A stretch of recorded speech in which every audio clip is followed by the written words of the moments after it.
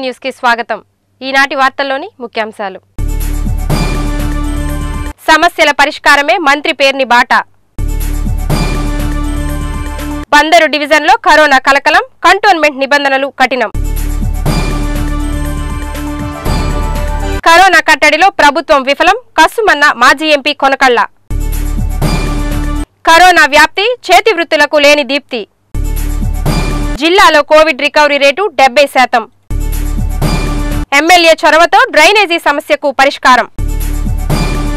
పారిశుద్ధ్య కార్మికుల సేవలు ఎన్నటికీ మరువలేనివని రాష్ట్ర మంత్రి పేర్ని నాని అన్నారు. కరోనా వైరస్ వ్యాప్తి నివారణలో ఫ్రంట్లైన్ వారియర్స్గా ముందుండి కీలక పాత్ర పోషిస్తున్న మున్సిపాలిటీ కాంట్రాక్ట్ పారిశుధ్య కార్మికుల సేవలు ఎన్నటికీ మరువరానివని సమాజ రక్షణ కోసం తమ ప్రాణాలు ఎదురొడ్డే సంరక్షకులుగా వారిని పరిగణిస్తామని రాష్ట్ర రవాణా సమాచార పౌర సంబంధాల శాఖ మంత్రి పేర్ని వెంకట్రామయ్య నాని పారిశుధ్య సేవల పట్ల సంతృప్తి వ్యక్తం చేశారు. గురువారం ఉదయం ఆయన తన కార్యాలయం వద్దకు వివిధ ప్రాంతాల నుంచి పలు సమస్యల పరిష్కారం కోరుతూ వచ్చిన ప్రజలను ఆప్యాయంగా పలకరిస్తూ వారి ఇబ్బందులను అడిగి తెలుసుకున్నారు. తొలుత ఒక యువకుడు తనకు అవుట్సోర్సింగ్ పారిశుధ్య కార్మికునిగా విధులలో తీసుకోవాలని మంత్రి పేర్నినానిను అభ్యర్థించారు. ఈ సందర్భంగా మంత్రి మాట్లాడుతూ మచిలీపట్నం మున్సిపల్ కార్పొరేషన్ పరిధిలో శాశ్వత పారిశుధ్య సిబ్బంది నూట పదిహేను మంది ఉన్నారని వారితో పాటు మూడు వందల ఎనభై మూడు మంది కాంట్రాక్టు పారిశుధ్య సిబ్బందితో మొత్తం నాలుగు వందల తొంభై ఎనిమిది మంది ఉన్నారని చెబుతూ గత వారమే అవుట్సోర్సింగ్ పారిశుధ్య కార్మికులకు ముప్పై రెండు మందిని ఉద్యోగ బాధ్యతలను అప్పగించామని తెలిపారు. ఆ ముప్పై రెండు మంది గతంలో ఎవరైనా రెగ్యులర్ కాంట్రాక్ట్ పారిశుధ్య కార్మికులు పనికి రాకపోతే వారి స్థానంలో బదిలీ కార్మికులుగా పనిచేసేవారని అందుకే ఆ నియామకాలలో వారికే తొలి ప్రాధాన్యత ఇచ్చినట్లు చెప్పారు. జిల్లాలో ఇమ్యూనిటీ పెరుగుదల గురించి సర్వే నిర్వహిస్తున్నట్లు జిల్లా కలెక్టర్ ఏఎండి ఇంతియాజ్ వెల్లడించారు. ప్రజల్లో ఇమ్యూనిటీ పెరుగుదల గురించి జిల్లాలో ఈ రోజు నుండి సర్వే నిర్వహిస్తున్నట్లు జిల్లా కలెక్టర్ ఏఎండి ఇంతియాజ్ వెల్లడించారు.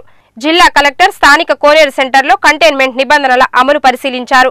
ఈ సందర్భంగా కలెక్టర్ మాట్లాడుతూ జిల్లాలో రోజురోజుకు పెరుగుతున్న కరోనా పాజిటివ్ కేసులను దృష్టిలో ఉంచుకుని జిల్లాలో కంటైన్మెంట్ నిబంధనలు కఠినతరం చేసినట్లు బందరులో వాటి అమలు పరిశీలించినట్లు తెలిపారు. స్థానిక జిల్లా కేంద్ర ప్రభుత్వ ఆసుపత్రిలో కోవిడ్ చికిత్సకై రెండు వందల యాభై బెడ్లు సిద్ధం చేశామని దీనితో పాటు స్థానిక ఆంధ్ర ఆసుపత్రిలో ఇరవై బెడ్లు కోవిడ్ ట్రీట్మెంట్కు ఆరోగ్యశ్రీ రోగుల కొరకు ప్రభుత్వం కోటా కింద తీసుకోవడం జరిగిందన్నారు. స్థానిక వరలక్ష్మి పాలిటెక్నిక్లో కోవిడ్ కేర్ సెంటర్ ఏర్పాటు చేశామని దీనితో పాటు జిల్లాలో మరిన్ని కోవిడ్ కేర్ సెంటర్లు ఏర్పాటు చేశామన్నారు. జిల్లాలో పూర్తి స్థాయిలో కోవిడ్ చికిత్సకు పద్నాలుగు ఆసుపత్రులు అందుబాటులో ఉన్నాయన్నారు. జిల్లాలో సుమారు ఆరు వేల మంది డిశ్చార్జ్ అయ్యారని రికవరీ రేటు జిల్లాలో డెబ్బై శాతంగా ఉందన్నారు. మిగతా జిల్లాలతో పోలిస్తే కరోనా పాజిటివ్ కేసులు తక్కువే అన్నారు. ప్రజలు సామాజిక దూరం పాటించాలని మాస్కులు ధరించి కోవిడ్ బారిన పడకుండా స్వీయ నియంత్రణ పాటించాలని సూచించారు. కరోనా టెస్టులు ఎక్కువగా చేస్తున్నట్లు కలెక్టర్ తెలిపారు. కరోనా పాజిటివ్ కేసుల్లో మొదట మన జిల్లా రెండు మూడు స్థానాల్లో ఉండేది. ప్రస్తుతం పదకొండవ స్థానంలో ఉందని అన్నారు.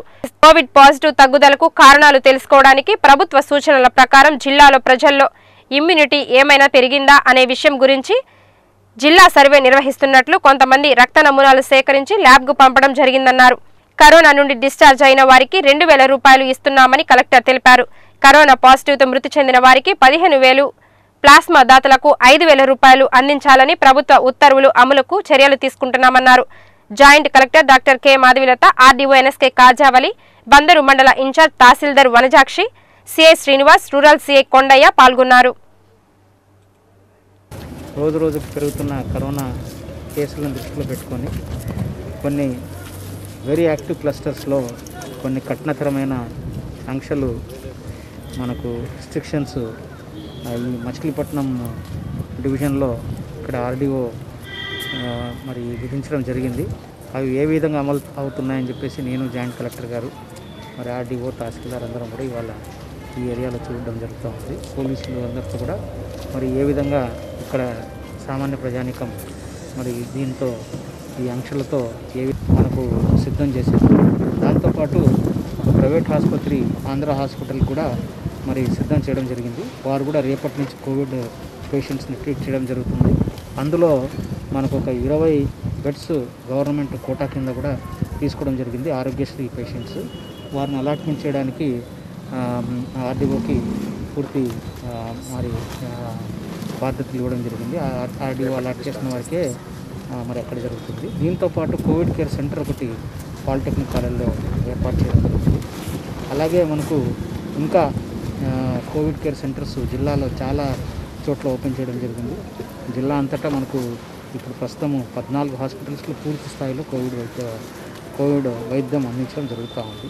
రికవరీ రేటు మనకు ఏడు వేల డెబ్బై పర్సెంట్ మనకు రికవరీ రేట్ డెబ్బై శాతం. సుమారు ఆరు వేల మంది ఇప్పటికి రికవర్ అయ్యి కోవిడ్ నుంచి బయటకు వచ్చారు అదొక చాలా శుభపరిణామం చెప్పుకోవాలి. అలాగే సోషల్ డిస్టెన్సింగ్ పాటిస్తే మనం కరోనా మీద విజయం సాధించాం పాజిటివ్ నుంచి బయటకు వచ్చిన వారికి కొంచెం వాళ్ళకి డిశ్చార్జ్ అయిన వారికి రెండు వేల రూపాయలు ఇవ్వడం జరుగుతుంది. అదే ఇంకా ఇవ్వటం మొదలుపెట్టారు. ఇచ్చాం. హాస్పిటల్స్ దగ్గర ఇవ్వడం జరుగుతూ ఉంది. ఇక్కడ మనకు ఇమ్మని చెప్పేసి ఆర్డీఓ గారికి బిల్ పెట్టు వీళ్ళకి ఇవ్వడం అలాగే మృతి చెందిన వారి అది అందరికి కూడా పంపించాము. వారికి కూడా మనకు అలాగే ప్లాస్మా దా- దాతలకు కూడా ఐదు వేల రూపాయలు ఇవ్వమని చెప్పేసి రావడం జరిగింది. ఈ ఉత్తర్వులన్నీ కమ్యూనికేట్ చేయాలి మృతి చెందిన వారికి ఎంత ఇద్దామనండి? అంటే మనకు వచ్చిన ఉత్తర్వుల ప్రకారం పదిహేను వేలని రావడం జరిగింది వారికి. ఇంకా ఏ విధమైన చర్యలు తీసుకున్నారు? ఇంకా మనకు దీంతో పాటు ఈ మా మనకు టెస్టులు ఎక్కువ చేస్తూ ర్యాపిడ్ యాంటీజెన్ టెస్టులు కూడా చేస్తూ ఉన్నాం. దాంతోపాటు మనకు ఏ విధంగా మనకు ఇమ్యూనిటీ ఏమైనా డెవలప్ అవుతూ ఉందా అనేది ఈ రోజు నుంచి ఒక సర్వే మొదలెట్టాం జిల్లాలో. ఆ సర్వే ప్రకారము ప్రత్యేకంగా కృష్ణా జిల్లాలో చేయమని మనకు రాష్ట్రం నుంచి ఉత్తర్వులు రావడం జరిగింది. ఎందుకంటే ఒకప్పుడు రెండో పొజిషన్లో అత్యధిక కేసులతో ఉన్న జిల్లా ఈరోజు పదకొండు పన్నెండు స్థానంలో ఎలా ఉంది ఏమైనా మనకు ఇక్కడ పాపులేషన్కి మనకు ఇమ్యూనిటీ వచ్చిందా అని. దాన్ని సేరో సర్వేలెన్స్ అని చెప్పేసి ఈ రోజు నుంచి మొదలెట్టాము. కొన్ని శాంపుల్స్ కలెక్ట్ చేసి మరి పంపించడం జరుగుతుంది బ్లడ్ శాంపుల్స్ దాంట్లో ఏమైనా యాంటీబాడీస్ డెవలప్ అయ్యాయని స్టడీ చేయడం. కోవిడ్ వైద్య టెస్ట్తో ఇరవై నిమిషాల్లోనే రిజల్ట్ వస్తుంది. ఇది ప్రతి ఊర్లోనూ ప్రతి జిల్లా మన జిల్లాలోని ప్రతి మండలంలోనూ మరి ఉపయోగిస్తున్నాం విరివిగా ప్రతిరోజు రెండు వేల దాకా మనకు ర్యాపిడ్ యాంటీజెన్ చేస్తున్నాం ఎవరికైతే అత్యవసరంగా చేయాలో వాళ్ళకి చేస్తున్నాం విఆర్డిఎల్లో మనకు టెస్టులు చేయాలంటే ప్రాసెస్ ఉంటుంది. అది మామూలు మనకేదో ఎక్స్రే లాగా ఇమ్మీడియట్గా రాదు. దానికి ప్రాసెస్ జరగాలంటే శాంపుల్ అక్కడికి వెళ్ళి ల్యాబ్ అనేది విజయవాడలో ఉంటుంది కాబట్టి కొంత మనకు వన్ ఆర్ టూ డేస్ మనకు టైం తీసుకుంటుంది. మచిలీపట్నం డివిజన్లో కరోనా పాజిటివ్ కేసులు తొమ్మిది వందలు మార్కి చేరువలో ఉన్నాయి. డివిజన్లో కంటైన్మెంట్ నిబంధనలు కఠినంగా అమలు చేస్తున్నారు. మచిలీపట్నం డివిజన్లో కరోనా పాజిటివ్ కేసుల సంఖ్య తొమ్మిది వందల మార్కుకు చేరువలో ఉంది. ఈ నేపథ్యంలో అధికారులు కంటైన్మెంట్ నిబంధనలు కఠినంగా అమలు చేస్తున్నారు. డివిజన్లో ప్రస్తుతం ఎనిమిది వందల ఇరవై ఏడు పాజిటివ్ కేసులుండగా ఇందులో మచిలీపట్నం మున్సిపల్ కార్పొరేషన్ పరిధిలో ఐదు వందల పన్నెండు గ్రామీణ ప్రాంతాలలో మూడు వందల పదిహేను కేసులు ఉన్నాయి. కోవిడ్ కారణంగా డివిజన్లో ఇరవై మూడు మంది మృతి చెందారు. కరోనా నుండి కోలుకొని మూడు వందల నలభై రెండు మంది ఆసుపత్రుల నుండి డిశ్చార్జ్ అయ్యారు. ప్రస్తుతం డివిజన్లో నాలుగు వందల ఇరవై నాలుగు యాక్టివ్ కేసులున్నాయి. మచిలీపట్నం మున్సిపల్ కార్పొరేషన్ పరిధిలో కరోనా పాజిటివ్ కేసులు అధికంగా ఉండడంతో కఠినంగా కంటైన్మెంట్ నిబంధనలు అమలు చేయడంలో భాగంగా ఇతర ప్రాంతాల నుండి పట్టణానికి ఆర్టీసీతో సహా ఇతర ప్రజా రవాణా వ్యవస్థపై ఆంక్షలు విధించి రాకపోకలు నియంత్రించారు. గ్రామీణ ప్రాంతాలైన కృత్తివెన్ను చల్లపల్లి నాగాయలంక ప్రాంతాలలో కూడా కోవిడ్ పాజిటివ్ కేసులు అధికంగా ఉండడంతో ఆయా ప్రాంతాలలో కూడా కంటైన్మెంట్ నిబంధనలు పోలీసులు కఠినంగా అమలు చేస్తున్నారు. పరిపాలనా లోపాలు కప్పిపుచ్చేందుకు రాజధాని అంశం ప్రభుత్వం తెరపైకి తెచ్చిందని మాజీ ఎంపీ కొనకళ్ళ నారాయణరావు విమర్శించారు. పరిపాలనా లోపాలు కప్పిపుచ్చుకునేందుకు మూడు రాజధానుల అంశం సీఎం వైఎస్ జగన్మోహన్ రెడ్డి తెరపైకి తెచ్చారని మాజీ ఎంపీ కొనకాళ్ళ నారాయణరావు విమర్శించారు. తన కార్యాలయంలో ఏర్పాటు చేసిన మీడియా సమావేశంలో ఆయన మాట్లాడుతూ అమరావతి రాజధానిగా అసెంబ్లీలో నాడు అంగీకరించి అధికారంలోకి వచ్చాక జగన్మోహన్ రెడ్డి మాట మార్చారన్నారు. దేశంలో ఎక్కడ మూడు రాజధానులు లేవని పరిపాలనా సౌలభ్యం కోసం మూడు రాజధానులు ఏర్పాటు చేయడం హాస్యాస్పదం అన్నారు. మూడు రాజధానుల ఏర్పాటు వలన నష్టం ఎక్కువని దీని వలన ప్రజలకు మేలు జరిగేది లేదన్నారు. పాలక ప్రతిపక్ష సభ్యులంతా రాజీనామా చేసి రాజధాని అంశం రెఫరెండంగా ఎన్నికలకు వెళితే ప్రజాభిప్రాయం వెల్లడవుతుందన్నారు. కరోనా కట్టడి విషయంలో రాష్ట్ర ప్రభుత్వం పూర్తిగా వైఫల్యం చెందిందని అత్యధిక పాజిటివ్ కేసుల విషయంలో దేశంలో ఆంధ్రప్రదేశ్ మూడవ స్థానంలో ఉందన్నారు. ప్రజల ఆరోగ్య భద్రతపై ప్రభుత్వానికి చిత్తశుద్ధి లేదని ఆయన విమర్శించారు. మున్సిపల్ మాజీ చైర్మన్ మోటమర్రి బాబాప్రసాద్ మాజీ vice chairman Kashi Vishwanatham TDP నాయకులు కొనకళ్ళ బుల్లయ్య మరకాని పరబ్రహ్మం ఇలియాస్ పాషా అజీం పుప్పాల ప్రసాద్ తదితరులు పాల్గొన్నారు. ఇవాళ రోజున రాజకీయాన్ని వికేంద్రీకరణ పేరుతో నువ్వు ఇవాళ రోజున ప్రజలందరినీ కూడా గందరగోళానికి సృష్టి చేస్తాను ఇవాళ రోజున మేము అడుగుతా ఉన్నాం నేను మాట తిప్పను మడమ తిప్పను. నేను మాట తప్పనని చెప్పి మాట్లాడావు కదా? ఇవాళ రోజున అసెంబ్లీ సాక్షిగా నువ్వు ఇచ్చిన మాటను తప్పుతున్నావు. నీ దగ్గర దమ్ముంటే రెఫరెండంకి వెళ్దాం పద ప్రజల్లోకి. రిజైన్ చేయి మేము కూడా రిజైన్ చేస్తాం. మళ్ళీ ఎలక్షన్కి వెళ్దాం. ఆ రోజున రాజధాని గుంటూరులో విజయవాడ మధ్యలో పెడతానని చెప్పి అమరావతిలో పెడతానని చెప్పి నువ్వు ఎలక్షన్కి వెళ్ళావు. ఆ రోజున నీకు ఇవాళ రోజున ప్రజలు నమ్మి నీకు ఓటేశారు. ఇవాళ రోజున నువ్వు రాష్ట్రాన్ని చాలా ఇబ్బందులు పెడతా ఉన్నావు. ఇవాళ అసెంబ్లీ నిర్మాణం జరిగిపోయింది హైకోర్టు నిర్మాణం జరిగిపోయింది సచివాలయం నిర్మాణం జరిగిపోయింది. ఇవాళ నిర్మాణం జరిగిపోయిన తర్వాత ఇంకో చోట పెట్టాల్సిన అవసరం ఏంటో నాకు అర్థం కావట్లేదు. రేపు ఉద్యోగస్తులు నువ్వు వైజాగ్లో మీటింగ్ అంటే పరుగులెత్తలేక ఎమ్మెల్యేల దగ్గర నుంచి చీఫ్ సెక్రటరీ దగ్గర నుంచి సెక్రటరీస్ దగ్గర నుంచి ప్రతి ఒక్కరు కూడా ఆఖరి గన్మెన్స్తో సహా పరిగెత్తాల్సి వస్తుంది ఇవాళ రోజున ప్రపంచంలో ఎక్కడైనా సరే ఇన్ని రాజుల్లో ఇన్ని రాజధానులు ఉండటం అనేది ఎక్కడ జరిగిందా? మేము ఇవాళ చంద్రబాబు నాయుడు గారు ఛాలెంజ్ చేశారు. మేము మళ్ళీ రాజధాని ఊసేస్తాం ప్రజల్లోకి వెళ్దాం పదండి. రాజీనామాలు చేసి మళ్ళీ ఎల- ఎలక్షన్కి వెళ్దాం. ఈ రాజధాని అనేది చాలా ముఖ్యమైన విషయం. రాజధాని మీరు రెఫరెండంగా పెట్టుకుందాం. మీరు రాజధాని వికేంద్రం చే- చేస్తారని మీరు చెప్పండి. మేము ఒకే చోట అమరావతిలో ఉండాలని చెప్పి మేము చేస్తాం. ప్రజలు కనుక మాకు ఏనెస్ట్గా తీర్పిస్తే మేము ప్రజాభిప్రాయాన్ని గౌరవించి రాజధాని విషయం మేము మళ్ళీ ఎత్తాం. ఇవాళ కోవిడ్ నరకెత్తడంలో కూడా మనం వైఫల్యం చెందాం మన రాష్ట్రం. ఇవాళ భారతదేశంలోనే మూడో స్థానంలో ఉన్నాం. ఇటువంటి పరిస్థితుల్లో ప్రభుత్వం ముఖ్యమైన కాన్సన్ట్రేషన్ వాళ్ళకి ఆరోగ్య సమస్య. కోవిడ్ ఉంది. దాన్ని అదుపు చేయడం మీద చూపించండి వాళ్ళ రాజధాని వికేంద్రమే అంత ముఖ్యం కాదు మనకి. ఇవాళ ప్రాణాంతకంగా మహమ్మారి కోవిడ్ విస్తరిస్తూ ఉంది. దాన్ని అదుపు చేయండి. వాళ్ళ దేశంలో మూడో స్థానంలో ఉండటం ఏంటి మనం? ఆఖరి స్థానంలో ఉండాలి. వాళ్ళ మనం అందరికన్నా కూడా బాగా అదుపు చేయగలిగి ఉండాలి. తెలంగాణ కంటే రెట్టింపు దాటిపోయింది మన సాగు మరణాలు దాన్ని అదుపు చేయండి. వాళ్ళ అనేక నియంతృత్వ ప్రభుత్వాలు చూసాం మేము. ఎమర్జెన్సీ లాంటివి కూడా చూసాం మేము. ఎటువంటి పరిస్థితులైనా కూడా ఎదుర్కొనే శక్తి మాకు ఉంది. ఇవాళ రోజున భయం పెట్టి ఇవాళ ఉక్కు బాధంతో అణిచివేయాలని చూస్తా ఉన్నావు ఇక్కడ భయపడే వాళ్ళు ఎవరు లేరు.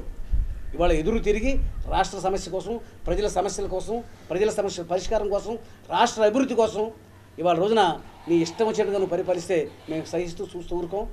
ప్రజా విప్లవం తెస్తాం. మా రాష్ట్రానికి అభివృద్ధి కావాలి. దేశానికి అందమైన ఆకృతులు తెచ్చే స్వర్ణకారుల జీవితాల్లో లాక్డౌన్ చీకటిని నింపింది. బంగారం వెండిలకు అందమైన ఆకృతులుగా రూపొందించే స్వర్ణకారుల జీవితంలో లాక్డౌన్ చీకట్లు నింపింది. కరోనా వైరస్ వ్యాప్తి నేపథ్యంలో విధించిన లాక్డౌన్ వారి పాలిట శాపంలా మారింది. బంగారు వెండి ఆభరణాల తయారీ మినహా మరే ఇతర పనులు చేయలేక స్వర్ణకారుల జీవితం దుర్భరంగా మారింది. పనులు లేకపోవటంతో పస్తులుండే పరిస్థితి ఏర్పడిందని ప్రభుత్వం స్వర్ణకారులకు తగు సహాయం అందించి ఆదుకోవాలని కోరుతున్నారు. ప్రసాద్ మాట్లాడుతున్నాను. గత కొన్ని నెలలుగా కరోనా వ్యాప్తి కారణంగా మరి స్వర్ణకారుల పరిస్థితి ఆగమ్య గోచరంగా ఉంది. ఈ పరిస్థితుల్లో ప్రభుత్వం నుంచి ఎటువంటి సాయం లభించక మా స్వర్ణకారులు అష్టకష్టాలు పడుతున్నారు. ఒక పక్కన బంగారం రేటు విపరీతంగా పెరిగిపోయి మరి కస్టమర్ల నుంచి ఎటువంటి ఆర్డర్లుగా లేక మా స్వర్ణకారుల పరిస్థితి చాలా దీనావస్థగా ఉంది. మరి ప్రభుత్వం నుంచి ఎటువంటి సాయం కూడా మాకు అందలేదు. మరి ప్రభుత్వం వారు గమనించి మిగతా వారికి ఇస్తున్న సాయాన్ని మాకు కూడా అందించి స్వర్ణకారులని ఆదుకోవాలని స్వర్ణకార అధ్యక్షుడిగా నేను కోరుకుంటున్నాను. మా మచిలీపట్నంలో మా మచిలీపట్నంలో సుమారుగా మూడు వందల యాభై మంది స్వర్ణకారులు ఇదే వృత్తి మీద జీవి జీవిస్తున్నారు. మరి ఏ ఒక్క స్వర్ణకారుడు కూడా సరైన ఆధారం లేక ఎలాంటి ప్రభుత్వ సాయం అందక ప్రభుత్వం ఏమన్నా ప్రకటిస్తుందానని ఎదురు చూస్తూ కాలం గడుపుతున్నారు. ఆల్టర్నేటివ్ పనులు చేసుకుంటానికి వేరే వృత్తుల్లోకి మాకు ఎలాంటి అవకాశం లేదు. మరి ఈ ఈ స్వర్ణ వృత్తినే గత కొంతకాలంగా ఇదే నేర్చుకొని ఇదే జీవితం మీద మనం ఆధారపడి ఉన్నారు. ఈ ఈ వయసులో మరి వేరే వృత్తుల్లోకి వెళ్ళి మిగతా కార్మికుల్లాగా పనిచేయడానికి మరి మాకు ఎలాంటి అవకాశాలు రావట్లేదు. మరి దయచేసి స్వర్ణకారులను కూడా కార్మికులుగా గుర్తించి మమ్మల్ని కూడా కార్మిక సంఘాల్లో చేర్పించి ఒక లేబర్ ఇన్సూరెన్స్ లే- లేబర్ లైసెన్సులు మొదలైన వాటిలో మాకు అవకాశం కల్పించేలాగా చేయాలని ప్రభుత్వానికి కోరుకుంటున్నాం. పనులు లేకపోవడంతో కుటుంబ పోషణ కష్టంగా మారిందని గతంలో స్వర్ణకారులకు ఏడాది పొడుగునా పనులుండేవని ఆభరణాల విక్రయంలో కార్పొరేట్ సంస్థలు వచ్చాక పనులు గణనీయంగా తగ్గిపోయాయని స్వర్ణకారులు వాపోతున్నారు. అధిక శాతం ఆభరణాలు యంత్రాల ద్వారా తయారీ అవటం కారణంగా చేతి వృత్తుల పరిస్థితి అగమ్యగోచరంగా మారిందని వారు ఆవేదన వ్యక్తం చేస్తున్నారు. బంగారం ధర పెరగటం వలన కూడా ఆర్డర్లు తగ్గిపోయాయని లాక్డౌన్ బంగారం ధర పెరగటం వెరసి స్వర్ణకారుల జీవనాన్ని ప్రశ్నార్థకంగా మార్చేసింది. అధ్యక్షుడు శివకోటి రాజేంద్ర ప్రసాద్ మాట్లాడుతున్నాను. మరి గత రోజుల్లో చూసుకుంటే మా చిన్నప్పుడు వృత్తి నేర్చుకునేటప్పుడు మూడు వందల అరవై ఐదు రోజులు మాకు ఈ స్వర్ణ వృత్తి ఉండేది. తద్వారా జీవనం సాగిస్తూ ఉండేవాళ్ళం. అట్లాగే ఇప్పుడు పని నేర్చుకొని మేస్త్రులైన తర్వాత జ్యువెలరీ షాపులు పెరిగిపోయి మరి సంవత్సరానికి ఆరు మాసాలే వృత్తి ఉండేది. ఇప్పుడు ఏంటంటే ఈ కార్పొరేట్ పీపుల్ సంస్థలు వచ్చిన తర్వాత ఈ ఉన్న పనులు కూడా తగ్గిపోయి సంవత్సరానికి మూడు నెలలకి దిగజారిపోయినాయి. మరి ఇటువంటి కష్టకాలంలో ఈ కోవిడ్ నైన్టీన్ వచ్చి ఈ స్వర్ణకారుల్ని మరింత ఇబ్బంది పెట్టి అసలు చేతి వృత్తులు లేక ఈ పని నేర్చుకున్న వాళ్ళు ఇంకో పనిలోకి వెళ్ళలేక మరి వేరే అవకాశాలు రాక చాలా దుర్భర జీవితం గడుపుతున్నాం. కాబట్టి దీన్ని ప్రభుత్వం వారు గమనించి మరి తగు సహాయ సహకారాలు మాకు అందించవలసిందిగా వివాహ ముహూర్తాల సమయంలో కళకళలాడుతూ హడావిడిగా కనిపించే స్వర్ణకారుల దుకాణాలు ప్రస్తుతం బోసిపోతున్నాయి. నిత్యం పనిముట్ల శబ్దంతో దద్దరిల్లే సదరు దుకాణాలు మూగబోయాయి.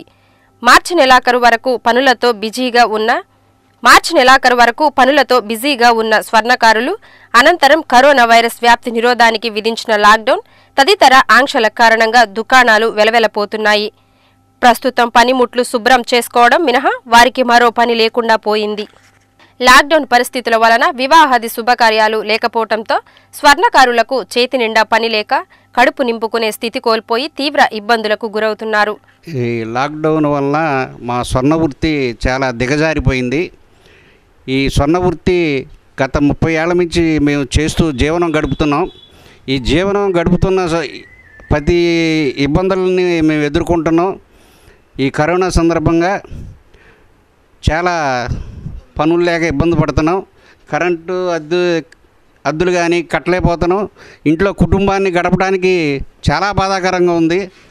ప్రభుత్వం పదివేలు అందరికీ సాయం చేసినట్టు ప్రతి వృత్తిదారులకు చేసిన విధంగానే మమ్మల్ని కూడా గుర్తించి ఈ సాయం చేయాలని కోరుతున్నాం. అదేవిధంగా ఈ స్వర్ణ వృత్తి మేము దగ్గర దగ్గర నలభై సంవత్సరాల నుంచి చేస్తూ ఉన్నాం చిన్నప్పటి నుంచి. కళ్ళు కనపడక చాలా ఇబ్బందులు పడుతున్నాం. ఆదుకునే వాళ్ళు ఎవరు లేరు. మాకు యాభై సంవత్సరాలకే పెన్షన్ ప్రభుత్వం ఇప్పించాలని మమ్మల్ని గుర్తించాలని ఈ స్వర్ణ వృత్తి తరఫున మేము స్వర్ణకార సంఘం తరఫున తెలియజేస్తున్నాం. మమ్మల్ని ఆదుకోవాలని కోరుతున్నాం. ఈ బందరంలో మూడు వందల యాభై మంది స్వర్ణకార వృత్తి చేసేవాళ్ళు ఉన్నాం కోనస్ సెంటర్ నాలుగు దిక్కులా కూడా ఈ స్వర్ణ వృత్తి మీద ఆధారపడి జీవిస్తున్నాం. చాలా ఇబ్బందులు పడుతున్నాం. అది మమ్మల్ని గుర్తించాలని ప్రభుత్వానికి తెలియపరచుకుంటున్నాం. లగ్గసరిలో కూడా ఏమి పనులు లేవండి. చాలా ఇబ్బందులు పడ్డాం. గడవట్ల ఇంట్లో చెప్పుకోలేము ఎవరికి. ఆ గోల్డ్ రేట్ బాగా పెరిగిపోవటం వలన అసలు ఒకటి అరా ఉండే పని కూడా లేకపోతుంది. ఇది శ్రావణ మాసం సీజను రేట్లు పెరగటం వల్ల ఆవు పని కూడా లేకుండా పోయింది. చాలా ఇబ్బందులు పడుతున్నాం సార్. లాక్డౌన్ ఆంక్షలు బంగారం ధర పెరుగుదల వంటివి చరిత్రలో ఎన్నడూ లేనంతగా దైన్య పరిస్థితి ఎదుర్కొన్నట్లు స్వర్ణకారులు పేర్కొంటున్నారు. పనులు లేకపోవడంతో దుకాణాల అద్దెలు కరెంటు బిల్లులు చెల్లించలేని పరిస్థితి ఏర్పడిందంటున్నారు. లాక్డౌన్ విధించిన మొదట్లో దాతల చిరు సహాయంతో కొన్ని రోజులు వారి జీవనం సాగించినా గత మూడు నెలలుగా కుటుంబ పోషణ కష్టతరంగా మారిందంటున్నారు.